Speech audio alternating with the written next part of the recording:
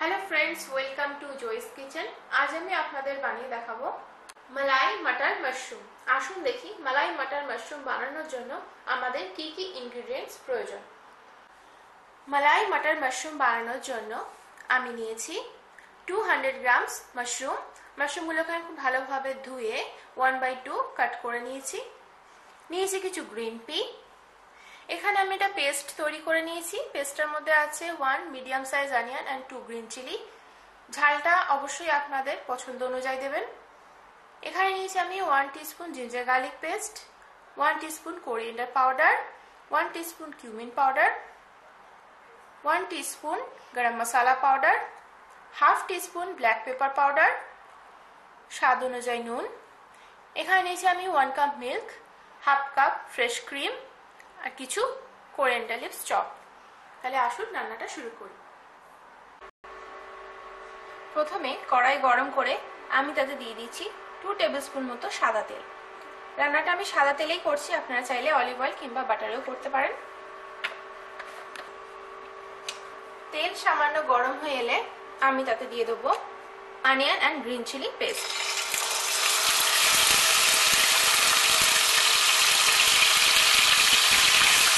চার থেকে পাঁচ মিনিট আমি অনিয়নটাকে একটু ফ্রাই করে নেব।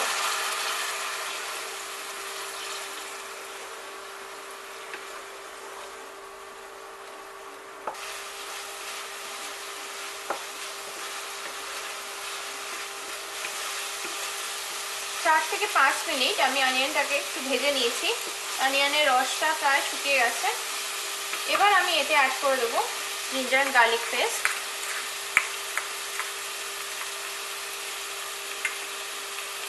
ভালোভাবে মিক্সড করে এটাকে আরও কিছুক্ষণ ফ্রাই করব, যতক্ষণ না অনিয়নের কালারটা চেঞ্জ হয়ে আসছে।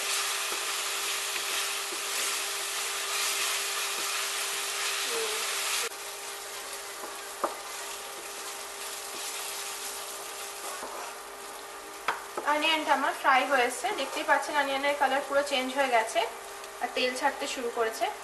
এবার আমি এর মধ্যে দিয়ে দেবো কোরিয়েন্ডার পাউডার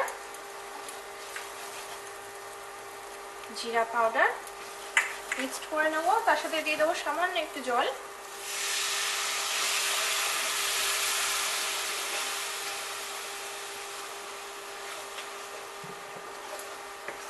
এবার মশলাগুলো পেঁয়াজের সাথে খুব ভালোভাবে মিক্সড করে নেব।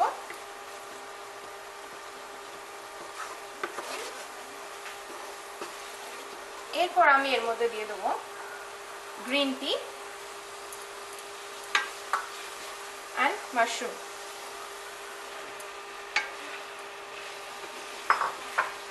এবার মশলার সাথে খুব ভালোভাবে মাশরুমটাকে একটু কষে নেব। প্রয়োজনে সামান্য একটু জল অ্যাড করা যেতে পারে, নাহলে কিন্তু মশলাটা পুড়ে যেতে পারে।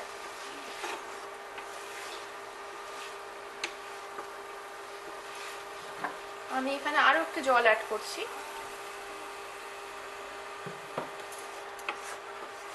ফ্লেমটা আমি মিডিয়াম টু লো রেখেছি। দু তিন মিনিট একটু কষে নেব মশলার সাথে।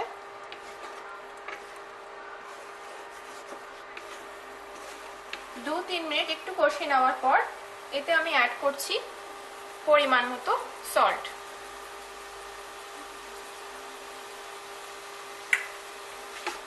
সল্ট অ্যাড করার পর ভালোভাবে মিশিয়ে নিয়ে আরও চার পাঁচ মিনিট আমি এটাকে কষাবো যাতে করে মাশরুমের জলটা কিন্তু নুন দেওয়ার জন্য একটু বেরোবে।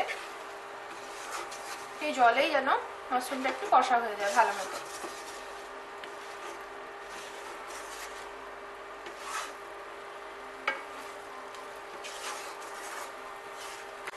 এই সময় আমি ফ্লেমটা লোতে রেখে একটু ঢাকা দিয়ে রাখছি। ফিরে আসছি তিন থেকে চার মিনিট পর।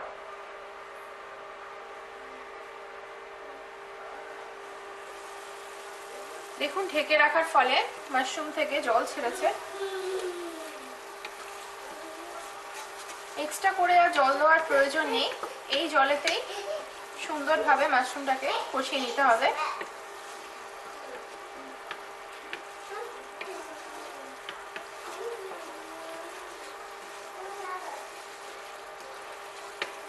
এবার আঁচটাকে আমি একটু বাড়িয়ে দিচ্ছি।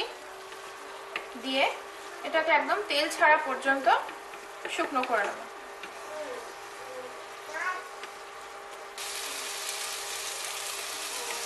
আরও কিছুক্ষণ রান্না করার পর দেখুন, মাশরুম থেকে তেল ছাড়তে শুরু করেছে। এখন আমি এতে দিয়ে দেবো ব্ল্যাক পেপার পাউডার মিক্স করে নেব। এরপর আমি এতে অ্যাড করব মিল্ক এটা ফুল ক্রিম মিল্ক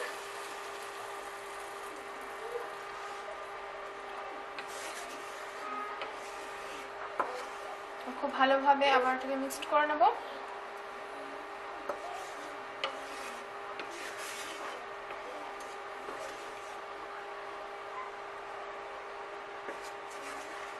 এবার কিছুক্ষণ ফুটে ওঠা পর্যন্ত অপেক্ষা করব। আমি একটু ঢাকা দিয়ে রাখছি।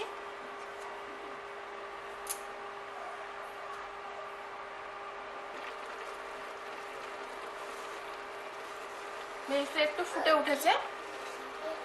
একটা বেশ ঘন গ্রেভি তৈরি হয়েছে। একটা কথা বলে রাখি, যখন আপনারা মিল্ক অ্যাড করবেন, তখন কিন্তু ফ্লেমটা একটু স্লো করে রাখবেন। না হলে কিন্তু মিল্কটা ফেটে যেতে পারে। এবার আমি এতে অ্যাড করে দেবো ফ্রেশ ক্রিম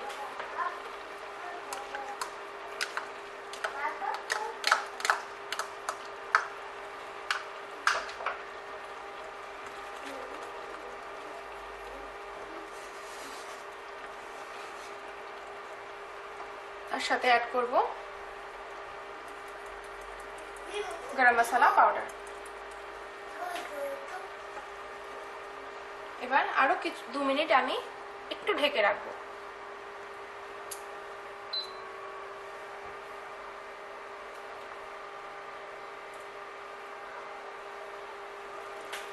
দু মিনিট হয়ে গেছে। আমার মালাই মটর মাশরুম রেডি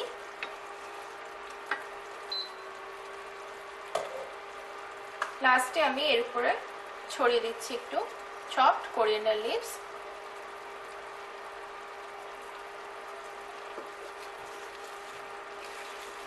ব্যাস, এবার আমি এটা সার্ভ করে নেব। তৈরি হয়ে গেছে মালাই মাটার মাশরুম আপনাদের যদি এই রেসিপিটা ভালো লাগে প্লিজ আমাকে কমেন্ট করে জানাবেন। এবং ভিডিওটাকে অবশ্যই লাইক এবং শেয়ার করবেন। এবং নতুন নতুন রেসিপি পাওয়ার জন্য আমার চ্যানেলটাকে সাবস্ক্রাইব করতে ভুলবেন না। আর সাথে থাকা বেল আইকনটা অবশ্যই ক্লিক করবেন। তাহলে নোটিফিকেশন সবার প্রথমে আপনার কাছেই যাবে। তাহলে ফিরে আসছি আরও একটা নতুন রেসিপি নিয়ে। সুস্থ থাকুন, ভালো থাকুন। Bye bye